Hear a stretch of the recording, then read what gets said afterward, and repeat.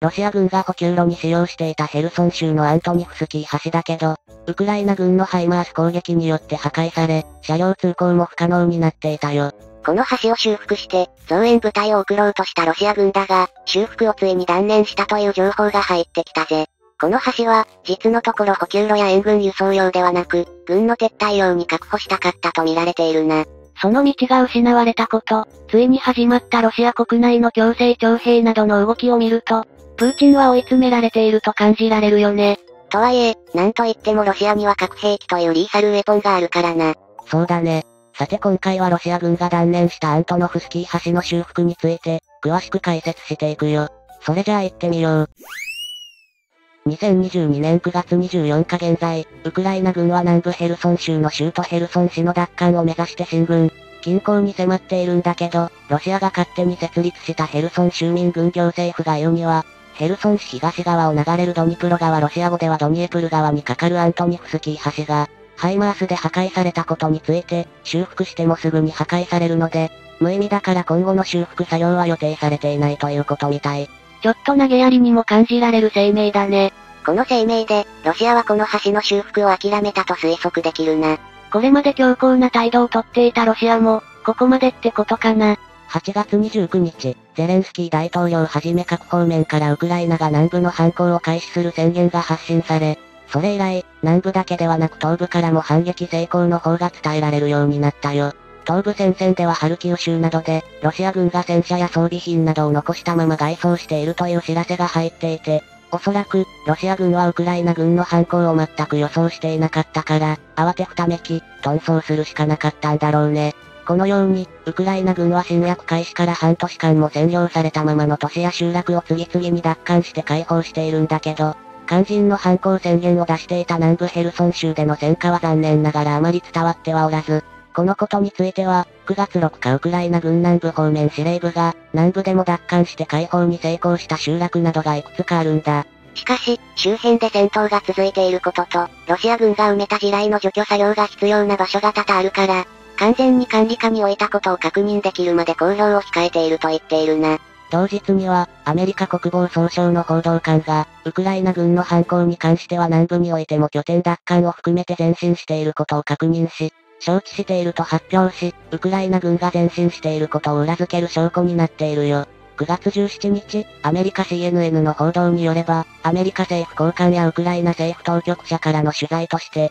南部ヘルソン州のロシア軍がヘルソン州のドニプロ川西岸から撤退するための退路を準備しているということみたい。この報道の内容は、ウクライナ軍参謀本部の報道担当がロシア軍は、ヘルソン州下方下市内を流れるドニプロ川にトカルートを設ける基礎にするため、列車車両給料を川に沈めたと述べ、その上で、ウクライナ軍がハイマースから発射した GPS 誘導ロケット弾攻撃によって、ドニプロ川に架かる橋を全て破壊されたロシア軍が、鉄道車両を沈めて仮橋として兵を撤退させるとかルートを確保しようとしていると見られるとの推測だね。ニュースでたびたび名前が挙がるようになったヘルソン州だが、重要な位置を占める一帯となっているぜ。ロシア本土と接し新ロシア派武装勢力が主導権を握る東部ドンバス地方ルハンシク州及びドネツク州と、ロシアが2014年平成26年一方的に併合したクリミア半島をつなぐ回廊を形成し、原発のあるザポリージャ州と共に重要視されているな。そのため、侵略開始当初から、ロシア軍が狙うところとなり、クリミア半島から進撃してきたロシア軍部隊が州の大部分を占領していたんだ。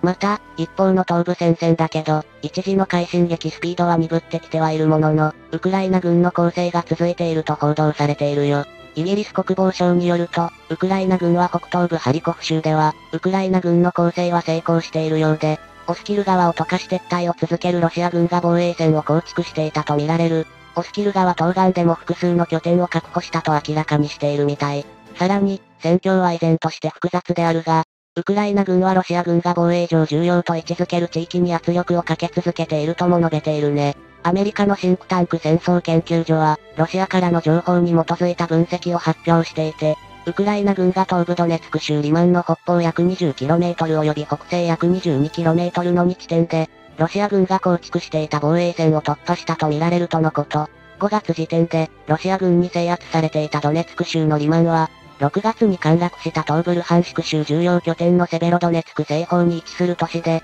ウクライナ軍がこの先セベロドネツクを奪還する際には最重要拠点になるだろうね。この方面には、ウクライナ軍国家親衛隊第15独立連隊と第103独立領土防衛旅団がドネツ川をすでに溶かして、ドネツク州のオゼルネを奪還したことが SNS に投稿された映像や画像などで確認されているぜ。ゼレンスキー大統領も言及していましたが、その西にあってよりリマンに近い、ステアリーキャラバンという集落にもウクライナ軍兵士が入ったことを示す動画が投稿されているようだね。つまり、着々とウクライナ軍の反攻が続いているということになるよね。リマン方面のロシア軍に関しては、ヘルソン州でのウクライナ側の陽動作戦により、そちらへの援軍として精鋭部隊が引き抜かれたと見られるし、ロシア軍が防衛線を作っていたとしてもかなり手薄な状況になっていた可能性が指摘されているよ。ただし、ちょっと不安な要素もあり、というのは、ドネツ川に架かる橋が全て破壊されているという情報があるんだ。進撃しているウクライナ軍が戦車など重装備を保有しているかは明らかではないけど、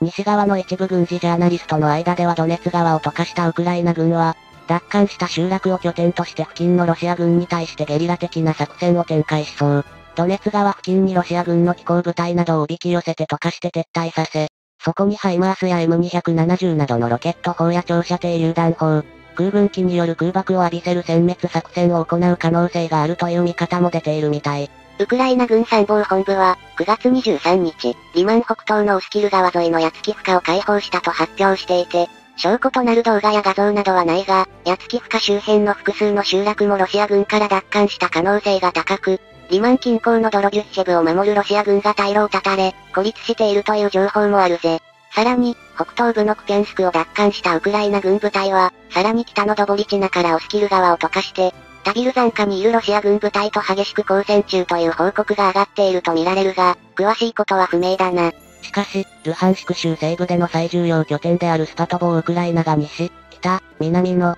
3方向から包囲する可能性が出てきたという推測も流れているようで、ウクライナ軍が南部で反攻すると宣言した時点では、これほどの短期間に広大な占領地を奪還できるとは誰も予想できなかっただろうね。これにはウクライナ軍の巧みな戦略と、ロシア軍の思い込みによる現状認識の相違があったのではないかと推理されていて、特に、ハルキウ州イジューム奪還作戦にこの相違が顕著に現れているみたい。ウクライナ軍は、8月3日頃から、イジューム南部から頻繁に攻撃を仕掛けていて、このことでロシア軍は、ウクライナ軍がイジューム南部からの攻撃に主力を投入するとみなし、ハルキウ正面からの攻撃がスケ攻撃とみなしたのではないかと推測されているよ。つまり、敵の主力位置を見誤り、兵力を注ぎ込むべき場所を間違えたということになるのかな。言うまでもなく戦況とは常に刻々と変化していく生き物で、戦略、戦術もそれに合わせて臨機応変に変化させていかなければならないのは当然のことだぜ。しかし、